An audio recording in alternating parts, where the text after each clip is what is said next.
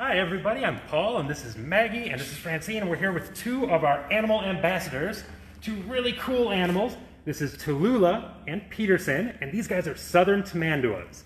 Uh, they're also called lesser anteaters too because they are a form of anteater, but they're fully grown, they stay small. There are giant anteaters out there. If you come to the zoo and you go to Tropic World, you'll see our giant anteaters over there. They're really, really big. This is as big as these guys ever get. And one of the main reasons that they stay so small is because they're arboreal. And what that means is they climb trees. So they're really well adapted for climbing up in those trees and finding all the termites and all the ants that live up there. So you can see her foreclaws up here, her front claws, She's got one really, really big toe, and that toe is perfect for climbing those trees and grabbing onto bark. And it can actually rip the bark right off of a tree to get those ants and other bugs that they might that they love to eat. Um, if you look at her tail down here, her tail is also really well adapted for climbing too. It's got um, less hair on it than the rest of her body because that helps her grip because that's a prehensile tail. So if you've been following Quilbert, our prehensile-tailed porcupine, on our Facebook page, um, it's very similar to that. They use that tail to grab onto branches to climb around. So Peterson over here is foraging in our fake termite mound that actually was made here by some of our really talented people over in our exhibits department. So he's getting some bugs out of there, and they get those bugs out with their really, really long tongue. So their tongue is about 11 inches long, and it's covered in a very sticky saliva. So it's kind of like Elmer's glue. All they have to do is touch an ant or a bug, and they can just slurp them right up. And so you can also see he's eating a little bit of baby food too. Uh, because out in the wild, they will eat some overripe fruit, but they can't really take big bites out of things. Um, because if you, yeah, there we go. We can really see his tongue there. And if you look at his mouth, he actually cannot open his mouth any wider than a pencil eraser.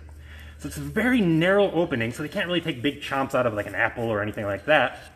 Um, and even if they could, they actually have no teeth to chew those fruits with. So that, things that they eat have to be soft or very, very small. And then what they do is once they eat those, those ants or that really you know, mushy fruit, they have um, what's called a gizzard, which is like a muscular stomach, kind of like some birds do. And they actually grind up their food in their stomach. So it's kind of like they chew their food after they've eaten it. So it's kind of neat like that. So you can see they have a little bit of a different pattern on them. They both have these cool black vests, very stylish.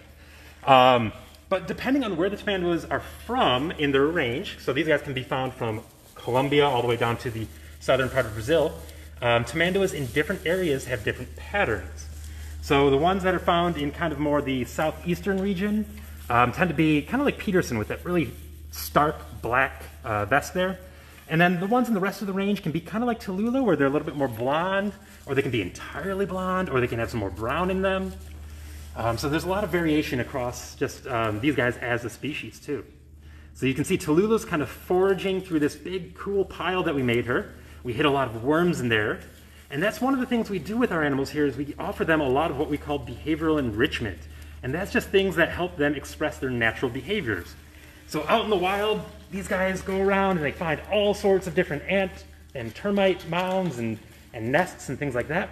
And then they, they stop there and they forage for a little while. They just, you know, they eat maybe a you know, bunch of ants and then they'll wander off and find more. So they actually have to hunt for their food. And that's what we do here. We help them hunt for their food.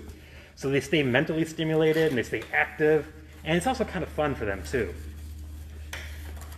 So tamanduas are really great conservationists too, because when they do hunt for their food, uh, and Peterson's trying to find some ants inside his uh, little tree here. Um, when they do hunt for their food, uh, they only spend about a minute at each ant and termite mound. Um, and the reason for that is, one, ants and termites can bite, so you don't want to hang around for too long. And then the other reason is they only eat a little bit so that those ant and termite mounds can survive. They don't really damage them. They don't do permanent damage by taking just a few ants and termites at a time. Um, and then they can always come back tomorrow to take a few more because more ants will be born. So overall, these guys can eat between about 8,000 and 9,000 ants in a day. So they're, they're quite good exterminators. Um, here we give them mealworms and waxworms. And you can see we've given some avocado as kind of just a little additional treat. Um, and then we also give them kind of a, a, mix that our nutritionists develop. It's basically kind of a, like what we call a protein shake, is, um, but it's basically um, all the nutrients that they would find in, in insects, but it's kind of in liquid form. So it's kind of gross to us, but they love it.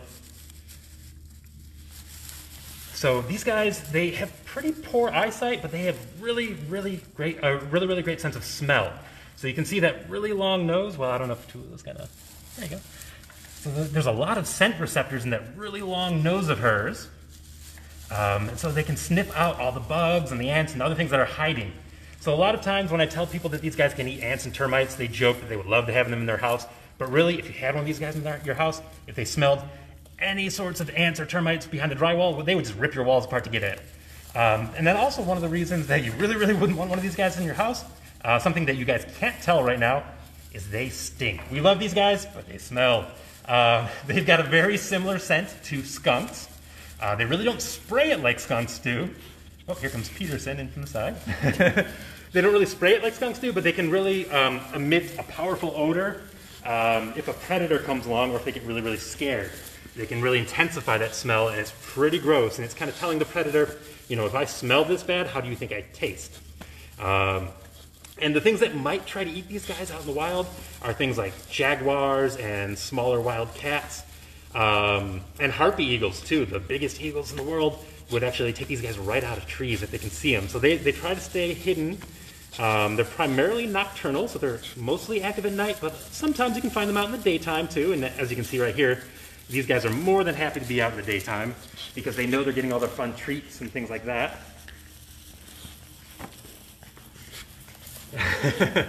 they are messy eaters too.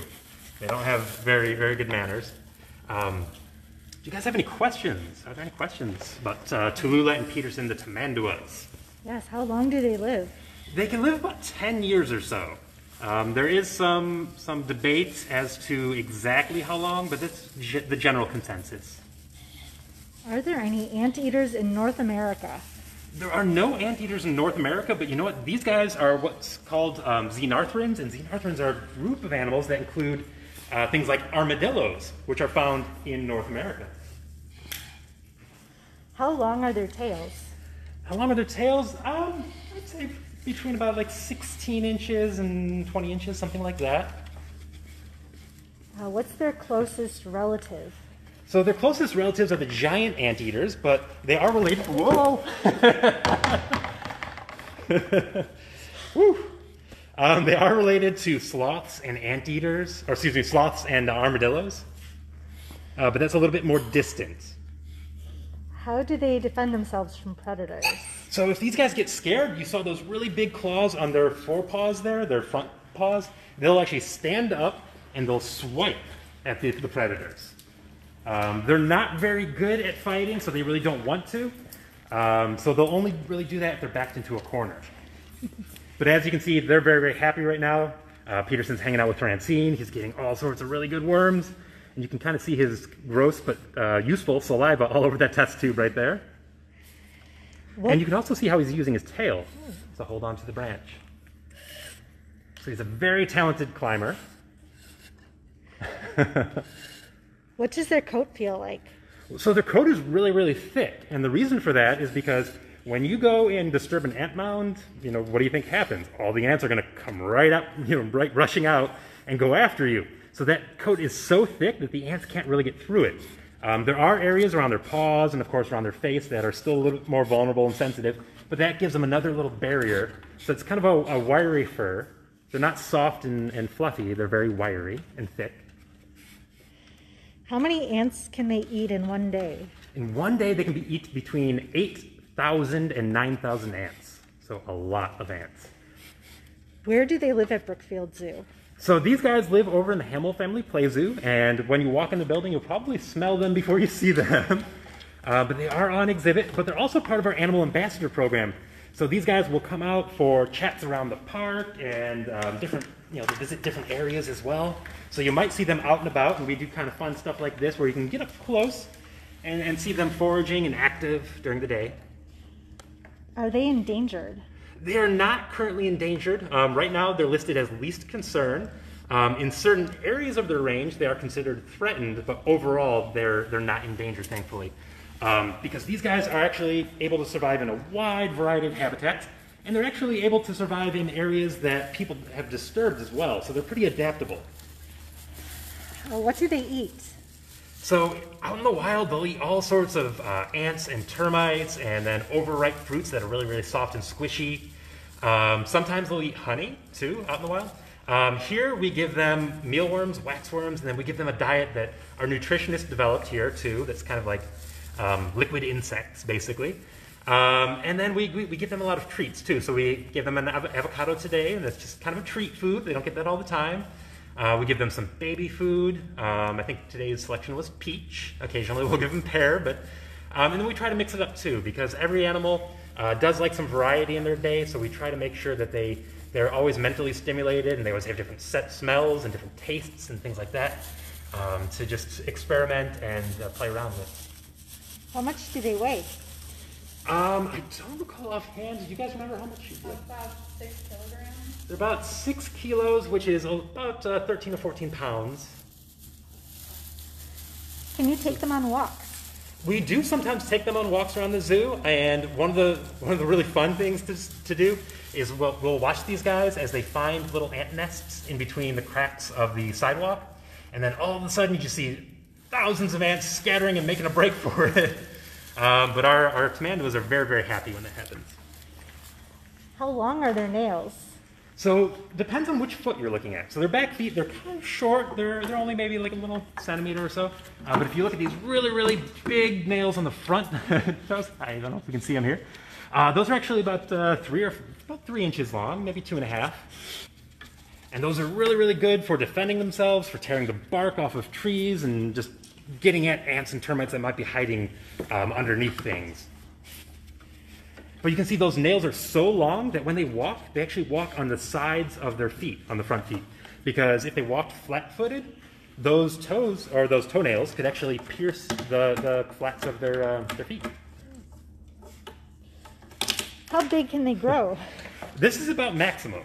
Um, not much bigger than this. Um, so these guys are adults. Both of them are about eight years old, a little bit older than that. Um, so they're fully grown. They're not going to get much larger. And again, when you when you climb trees, you don't want to be that big because the bigger you are, um, you know, the, there's the, the more risk there is that a branch is going to break when you crawl across it. Because you know, I was up in that tree, I couldn't go on the same branches that maybe Tallulah could. How many babies do they have? They usually have one baby at a time. Uh, and it's pretty cute because the baby will actually cling on to mom and just hold, hold on there for a while until they're big enough to go off on their own. How high can they climb? I, I think that's only limited by the strength of the branches. So they can go up pretty high. I, they don't really like to go on the top because, again, if they go above the leaves and the branches and everything like that, they don't really have much cover. And animals like, again, harpy eagles or um, large owls could see these guys and try to grab them. How long is their tongue? So their tongue is about 11 inches long. It's so big that it kind of curls back around the skull a little bit uh, in order to fit inside their mouth. Do they make any noises? As adults, they really don't make noises. Um, the babies can make some noise. These guys, really the only noises they make are just kind of grunts and um, exhalations of air, things like that, just snorts. Uh, where do they live in the wild? Like what kind of, uh, do So- they live in the trees? They live, yeah, they live in forested areas. They live in both um, dry forests and rainforests. Um, like I mentioned before, they're very well adapted uh, to just general habitat, so they can live all over the place um, as long as there are trees around. Um, but again, you can find them all the way from Venezuela to the southern part of Brazil. They're all over the place. And then there are northern tamanduas that live in uh, from Colombia to about the middle of Mexico too. But again, these guys are southern tamanduas. Very similar, but a little bit different. How do they sleep? So they, they'll actually curl up in a little nook of the tree. Usually they'll try to find uh, a cavity to hide in or something like that. But in, you know, in a pinch, they can just find a little you know, Y in a branch, just curl up right here, and then they'll hold on and go to sleep. Are they nocturnal? They're primarily nocturnal, which means you know they come out at night for the most part. Uh, but they've been uh, observed being active during the day as well, and as you can see right now, they're very happy to be active during the day. Do they have leashes when they go for walks? Um, sometimes we do. Um, they're very good at sticking with us, so we don't always do that. Um, but they are they have been trained and they, they will accept a leash and they're okay with it. uh, but it's not always necessary. They tend to follow the food, and as long as we have worms for them, they're fine hanging out with us. They don't need to go elsewhere. Do they ever play with each other? They do sometimes. Sometimes they'll wrestle. They get a little bit pushy sometimes, and I think sometimes Tallulah gets a little bit sick of Peterson, but but they're buddies, and they just, again they live together over the play zoo, so they're they're very used to hanging out together. How big is their social group? So usually they're they're mostly solitary, um, but again, if there's one or two in the area, they might hang out together for a little bit. And you know, our two Tamanduas here do like hanging out with each other, uh, but in the wild, you'll generally find one at a time. Do their tails have bones? Yeah, yeah, they, they do have bones down the length of the tail. Um, that's one of the ways that they can um, they're able to grip with that tail because there are muscles attached to those bones that kind of flex it so they can grab onto branches. Uh, can they jump from tree to tree? They can't, so they're not really good at jumping. Um, they're really built for climbing. They don't really have the right muscles to kind of fling themselves like a flying squirrel or anything like that. Um, but in a pinch, they can move pretty darn quick. So if there are two branches from two different trees touching each other, they can get over to that second tree really, really fast if they feel threatened. Are their tails strong enough that they could hang just by their tails? Yes, yeah, they can actually hang just by the tails, but not for a lo- not for an extended period of time, just for a little bit.